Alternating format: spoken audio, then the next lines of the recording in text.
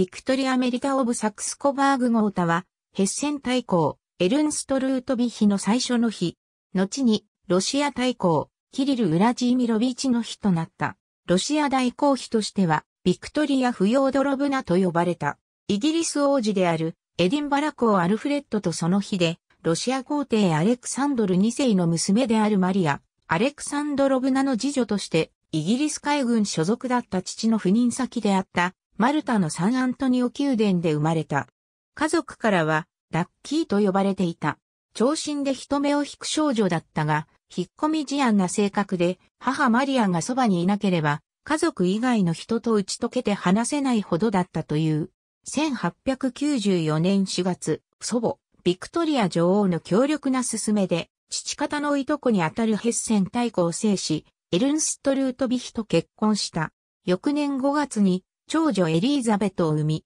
1900年には男児を死産した。旗目には幸せに見えた太閤夫妻だったが、妻に対する愛情が欠落しているエルンストルートビヒとの生活は不幸だった。二人は茶器や時期を投げ合うような派手な夫婦喧嘩をした。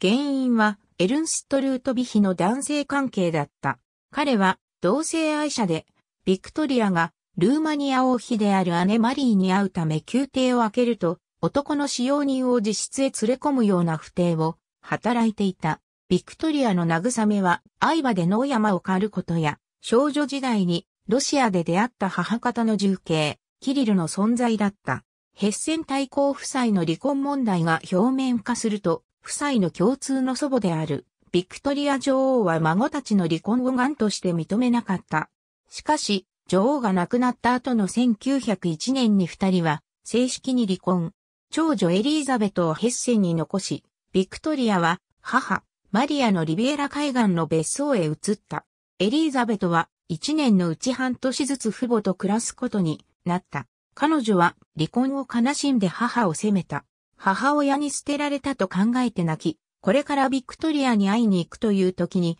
ソファの下に潜り込んでむせび泣いたこともあったという。1903年11月、エリーザベトはニコライ2世一家と共に、ポーランドで休暇を楽しんでいたが、腸チフスで急死した。医師は、エリーザベトの重病を早く、母親に電報で知らせた方がいいと言ったが、皇后アレクサンドラがわざと電報を遅らせたため、ビクトリアはポーランドでの休暇に合流しようと、準備していた自室で、娘の死を伝える電報を受け取った。エリーザベトの葬儀では、ヘッセン大公家の列からビクトリアは外された。棺のそばで悲嘆に暮れるビクトリアを参列したベルンハルト・フォンビューロー伯はメロドラマのつもりかと辛辣に評した。ビクトリアとキリルとの再婚には多くの人が難色を示した。皇后アレクサンドラはビクトリアを諦めないキリルを極東へ左遷するよう皇帝に迫った。キリルの両親、ウラジービル・アレクサンドロビチ大公とマリア・パブロブナ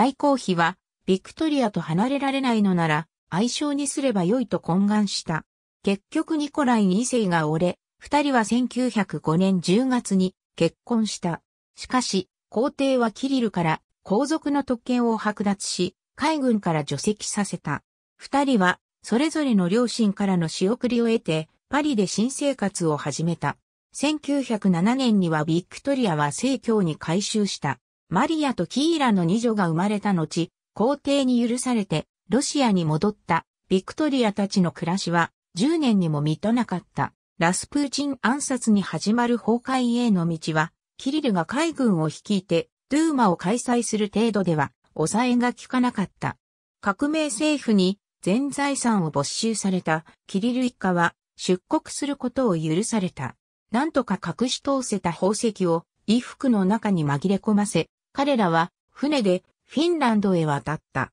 ロシア白軍の勝利を願い、支援する彼らはやがてコーブルクへ移った。イギリス政府は帝政復活のために何もしてくれず、そのうちビクトリアは反ボリシェビキの立場から、ロシア帝政を支持したナチスに興味を持ち、多額の寄付をした。帝政の復活を目指して活動するうちに、やがてキリルは精神を病んだ。フランスのサンブリアックシュルメールへ移ったビクトリアは、ここでの暮らしを楽しんだ。退職したイギリス人に限りある収入でも暮らせるリゾートの街として人気があった。多くの友人ができ、アマチュアのバレエ団に関わって日々を過ごすビクトリアとは対照的にキリルは近寄りがたい人物と見られていた。街ではキリルが時折家を飛び出してはパリに行っているという噂が広がり始めた。それまで人生のすべてをキリルに捧げてきたビクトリアにとって裏切り以外の何者でもなく